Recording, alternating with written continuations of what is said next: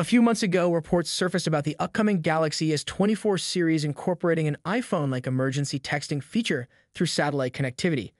Recent leaks further confirm the existence of this feature, now known as emergency text via satellite, as revealed in a screenshot from a Galaxy phone.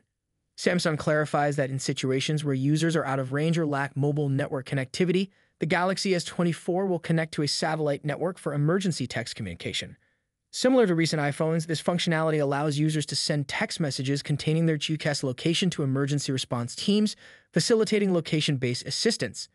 This feature is expected to be particularly useful in scenarios where individuals find themselves stranded without access to cellular networks. It is anticipated to be available on Galaxy S24 units equipped with both Exynos and Snapdragon chips. Samsung has developed its 5G NTN technology, providing two-way satellite communication, aligning with 3GPP standards, Release 17.